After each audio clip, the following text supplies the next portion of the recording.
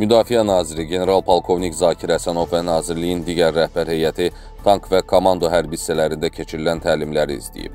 Bu barədə Müdafiə Nazirliyindən məlumat verilib. Komanda idarəetmə məntəqələrinə baş çəkən Müdafiə naziri tank ovçuluğu təlimini və komandoların hazırlıq məşğələsini izlədikdən sonra komandir heyətinin məruzələrini dinləyib. Məruzə olunub ki, təlim prosesində şərtli düşmənin zirehli texnikasının puskuya və xəndəklərə salınmaqla yaxın məsafədən sıradan çıxarılması, eləcə də komandoların yaşayış məntəqələrində döyüş tapşırıqlarının icrası məşq etdirilir.